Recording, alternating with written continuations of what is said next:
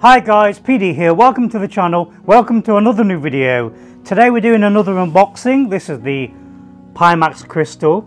I have tried this headset before, I was invited down to my good friend and fellow VR content creator, Gary.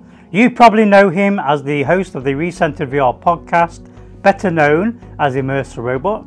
If you saw my initial impressions video of the Pimax Crystal, you might remember I was not very impressed at the time. For me, the Pimax Crystal was a bit blurry. Both Gary and my good friend Dazenetic said that the crystal was really clear for them, but for me, I did not get the clarity.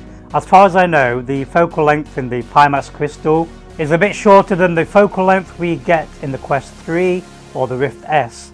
Basically, as some of you are aware, I've had cataract surgery on both my eyes.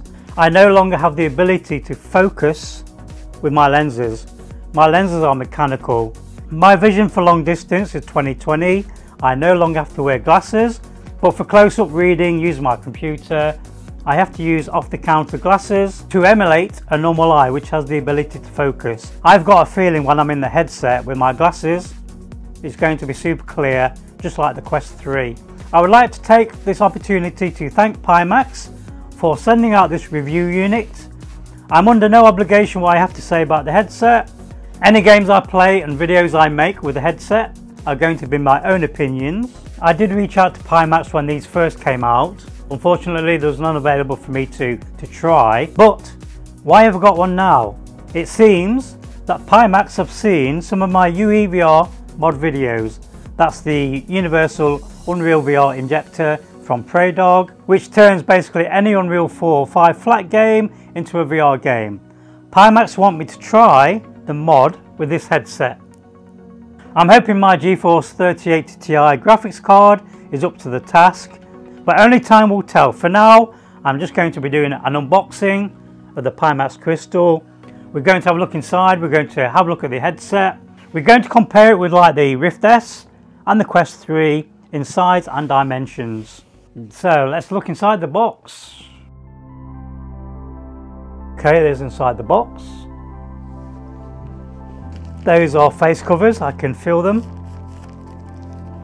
Okay, so let's have a look at the headset itself. It should just come out. Okay, there we go, look.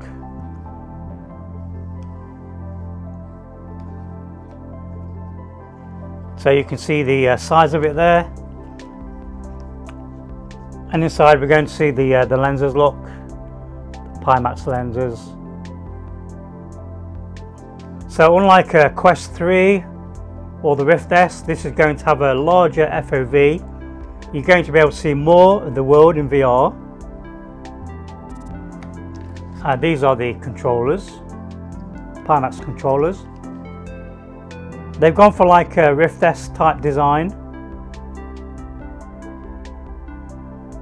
This is designed to work with a PC, but you might notice there's no cable look.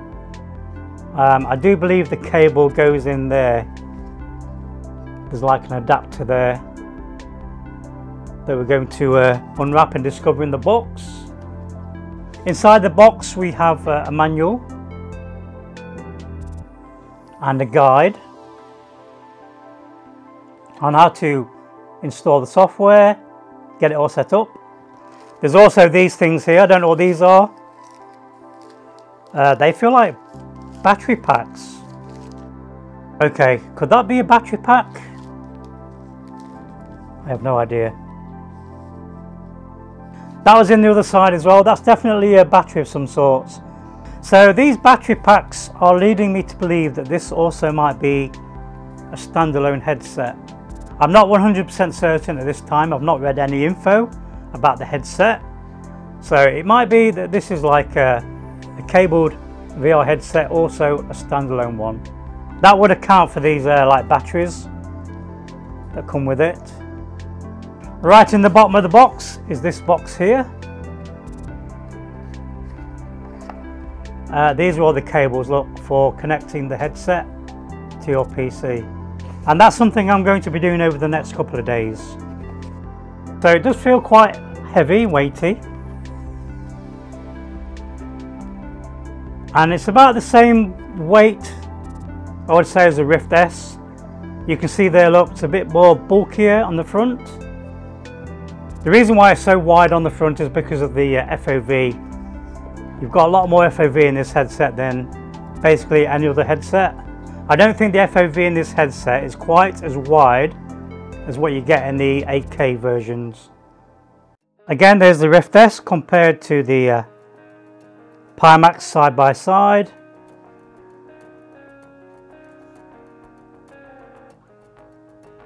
Now we have the comparison with the Quest 3 so you get to see the size as well.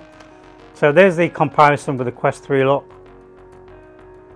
Again a lot wider on the front. It's about the same length. My daily driver used to be the Rift S. Sadly I no longer use this headset. That's been replaced by the, the Quest 3 which I can now connect to my PC with a cable.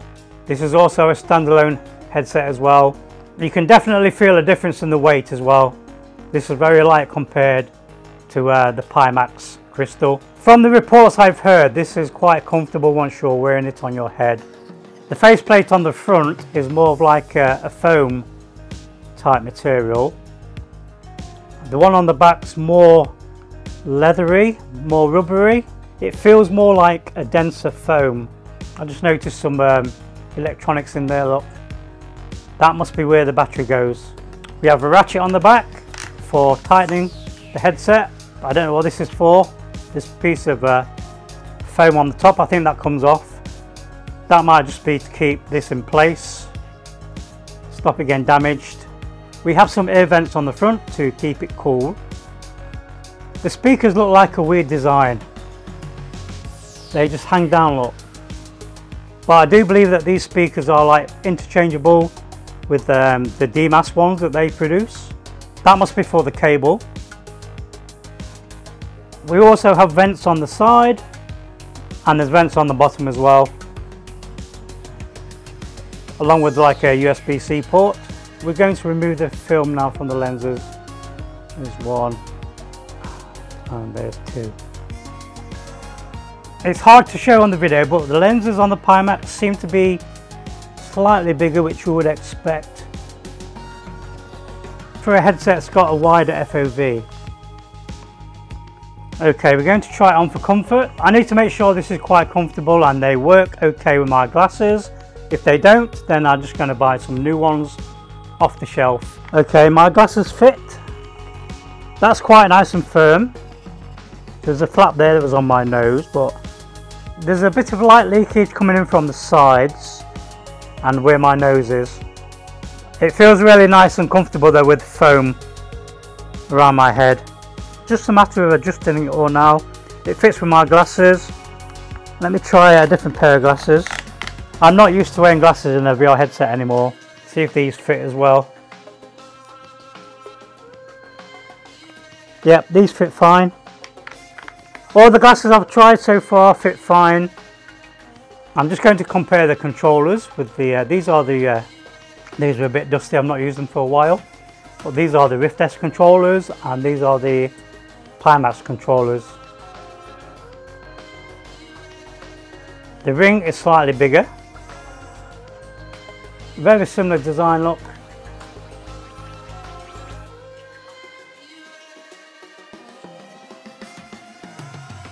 and they feel quite comfortable in the hands. I'm really used to this design.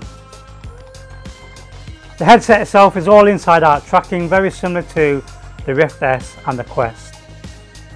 Before I go, that was the uh, replacement face cover that was in the little bag.